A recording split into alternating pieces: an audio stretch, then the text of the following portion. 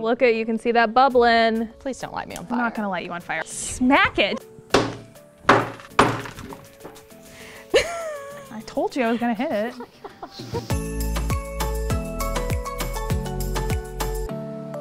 What's the card say? Oh gosh. Handle with care. This is hydrochloric acid. Oh my gosh. I think today's a chemistry experiment. And if it's a chemistry experiment today, then I'm probably gonna have Elizabeth on because she is my fellow mad scientist. Elizabeth, are you back there? Yep. All right, come on, let's have some fun. Are we gonna have some fun today?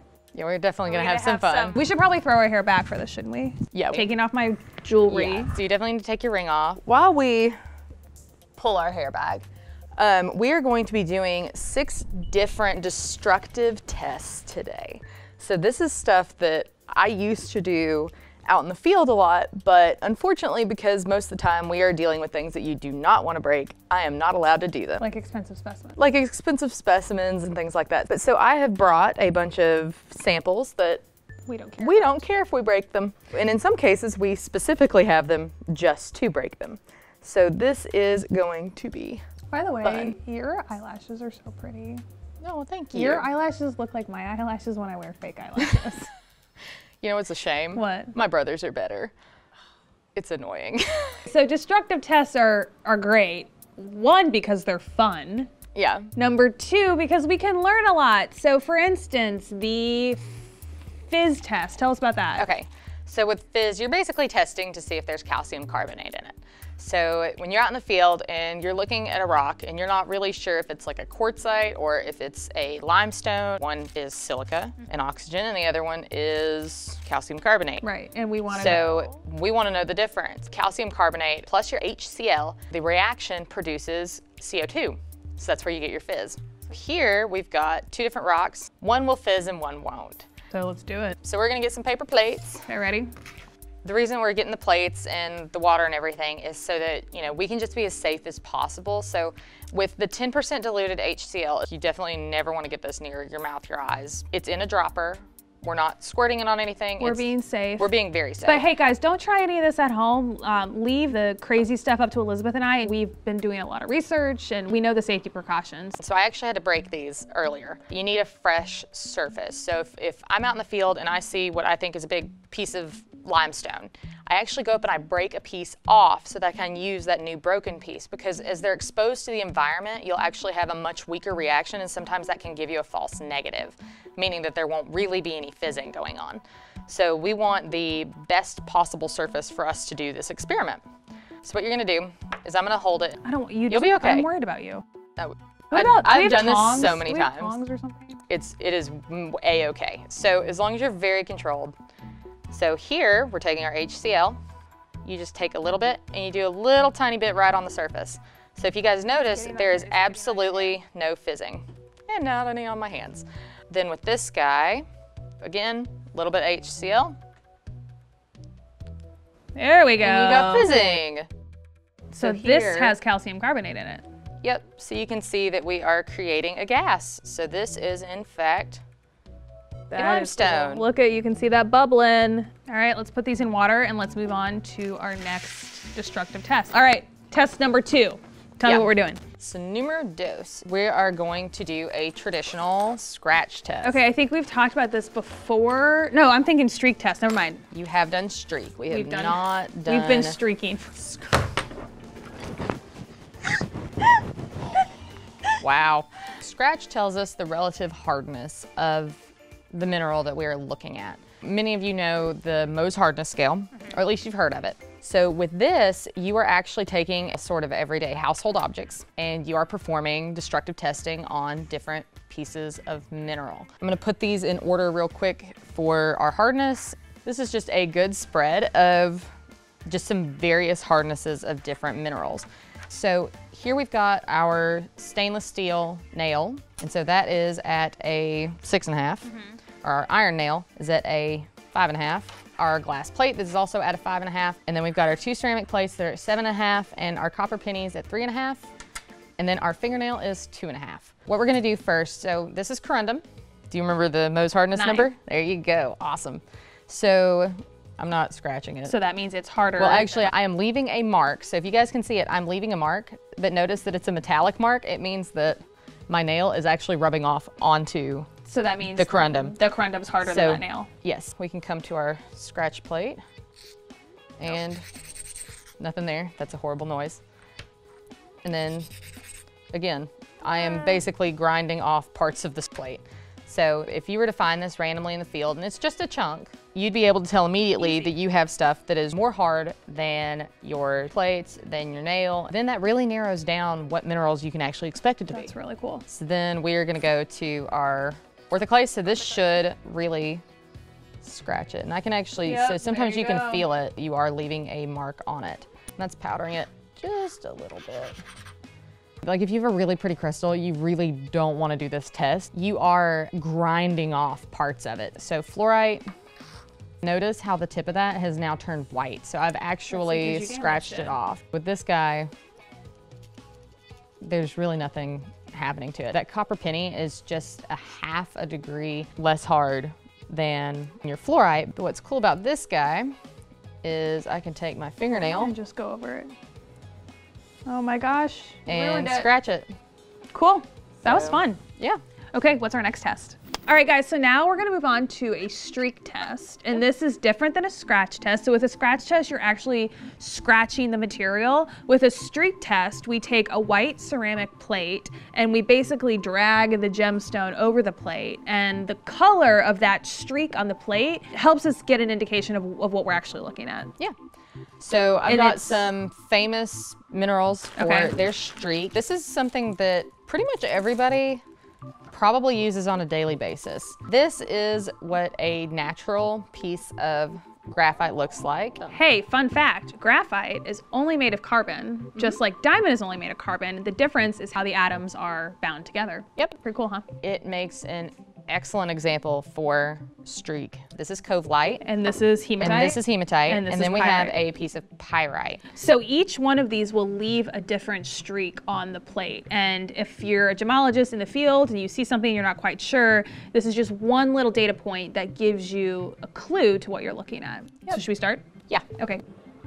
There you go. So of course the expected, yeah, so this was graphite. this is graphite, and I'm gonna do the, you said covellite? Yep. All right, there's Covellite. Um, if you guys want to learn more about what we're talking about on the show today, don't forget to look above Elizabeth's left shoulder. We'll pop up the links on screen. So we are going to hit um, several specimens today, and you can learn more through those videos. All right, hematite. And then we've got be red. hematite.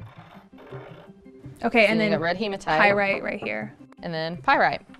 I didn't know this one had a streak. Oh God, that's bad. That's nails on the chalkboard.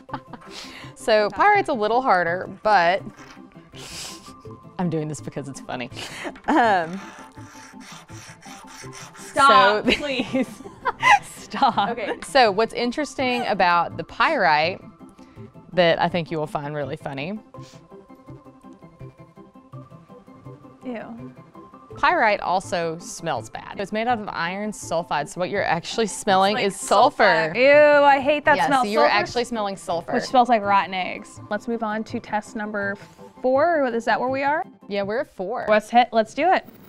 So we have fire. We have fire. We no longer just use rudimentary tools. We're we now at the- use fire. We're not at the kids' table anymore. Okay, so tell us what we're doing with fire. Okay, so everybody has heard of amber and copal on this show. And for those of point. you who are not familiar with it, amber is basically ancient tree sap, and copal is younger ancient tree sap. The biggest difference is that you have something called volatiles within this organic matter. Well, so with copal, the volatiles are still there. And so as it ages, the amber is actually releasing all of that out. So those volatiles aren't there anymore. So one of the surefire ways to tell the difference between a piece of copal and a piece of amber, and especially when they look so similar, mm-hmm. is to actually take a hot needle and poke them and smell it. I have never actually done this test before. I'm really Excited? excited. All right, let's do the fire. so I was actually saving this for this video. now let's let's do this. I'm ready. Please don't light me on fire. I'm not gonna light you on fire. You're my Um, friend. I'm not gonna light you on fire. Ready? on purpose I'm is not going there. to light you on fire. This is literally a paperclip that we just bent It's getting really hot. There. really pretty red. There we go. How much longer So- should we leave it on? you know, I don't know. We're just gonna do this. So it's hot, and we're going to now take this piece of amber. Oop, Do we light need me up more? again? Yep, There we go. Did you see that? I saw smoke. Should we do it one more time? So, and we're gonna try to do this a little bit. Just Woo! Do you smell that? That smells like.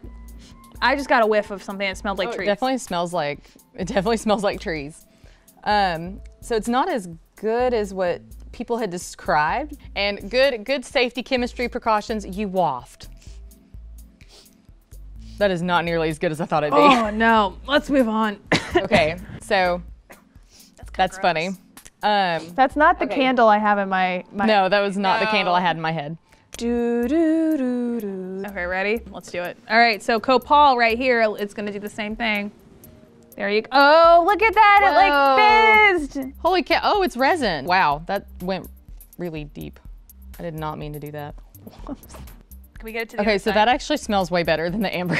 that smells like a conifer. It Like- really does. Like this, this smells more.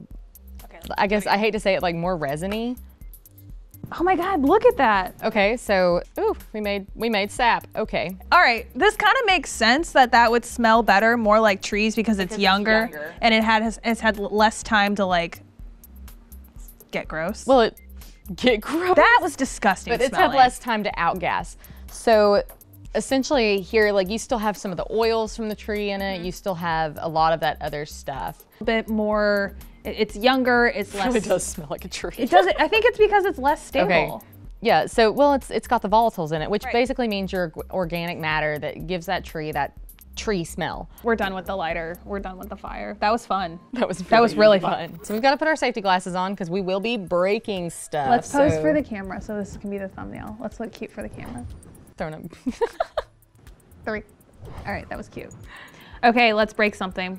okay, so This is test number five. Test number five, we are talking about fracture. fractures. So in gem school, you look at the fracture on a stone because if it's conchoidal, which basically means it looks like concentric circles, that is one way to identify a stone versus if it just looks like splintery or what else? Granular Granular, splintery. or step-like. We are first going to deal with our chert, which is basically a microcrystalline variety of quartz that's like really opaque and just kind of, I hate to say ugly, but it's kind of ugly. We're going to just whack it. Let's go. Ready? Three, Okay. two, one. I'm gonna, you, you Put your hands- sacrifice your fingers. Three, two, one. I told you I was gonna hit it. Oh gosh. so this is actually more conchoidal. This little piece fit right there, and I am so glad I had on them eyeglasses. I know. So I didn't expect you to just go for the middle of it. I didn't go for the middle. I went for the side. You're supposed to just gently tap on it and then go No, I just it. smacked it once and it, a, a little bit broke off. I have a feeling the obsidian might be a little easier. Just smack. Um, just we just smack it hard once. Smack it. Okay. Just smack it. Go. See? So. Oh, there. That's perfect conchoidal fracture. Oh, those are some really pretty snowflakes. I know, isn't that gorgeous? Okay, so snowflake obsidian is called snowflake obsidian because you have the black background and the white splotches actually kind of look like snowflakes. Yeah. One of my favorite stones. I think it's very cool. But number two, you you see this like almost perfect conchoidal fracture, and it looks like these concentric circles. This is so weird. I'm such a nerd, but conchoidal fracture is my favorite fracture. We actually have a piece of marble here. See how it looks like powdered, like sugar? So Like it really looks like sugar. So the this is called granular. And you can actually feel the grit. Do you want to hit Why it? not? Just We're one here. smack. One smack. Okay. Go. Nope. No, it actually, Did it break? so you can see a crack forming right there. Jump. There we go. So then you've got this really beautiful, fresh, granular fracture. Looks like sugar. Look at that. Look how pretty that is. And then you can also get step-like fracture. Unfortunately, I really didn't have a good stone to break that I wouldn't have cried over that had step-like fracture. But just so you all know, a stone that's really great to see it is feldspar. It basically just looks like little nice stair steps going down the side of a stone. So with the kyanite, we're actually this gonna one? do the littler one. Three, two. No, no, I'm too afraid. So what was funny about that is it actually oh, it actually cracked. There we go. So here, if you guys can see on the ends of it, and it appears to have this wood-like texture on it, and that's where we get the term splintery fracture.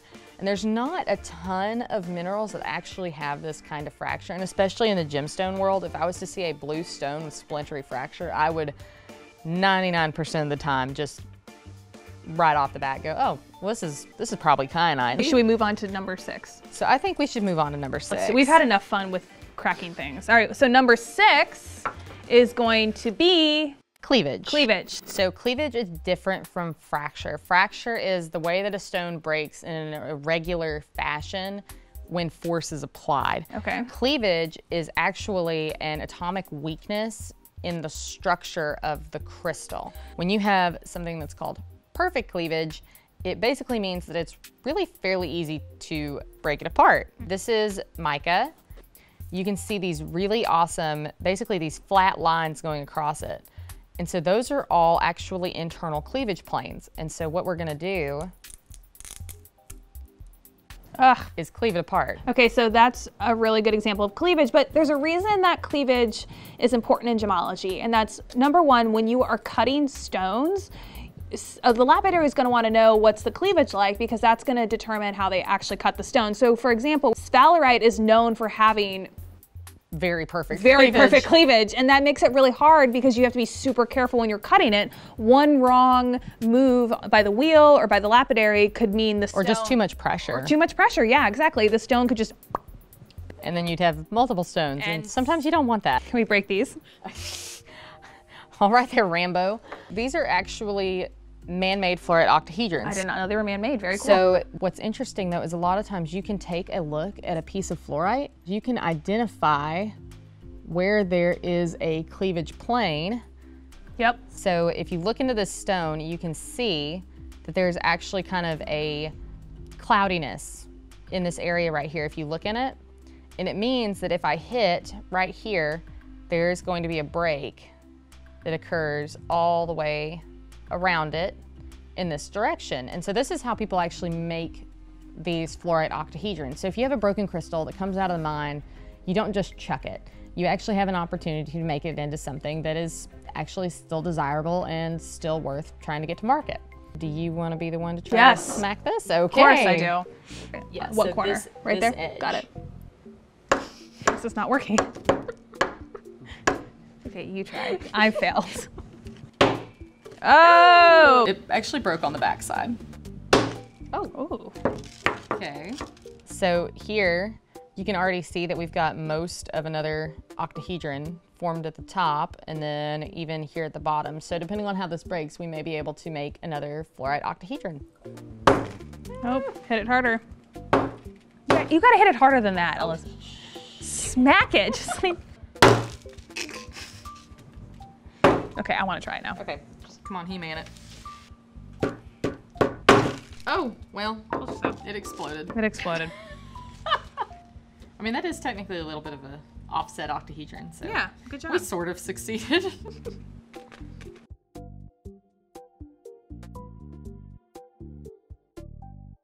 All right, guys, I think Elizabeth and I have had our fun as mad scientists today. I'm ready to get these glasses off. They're kind of killing my vibe.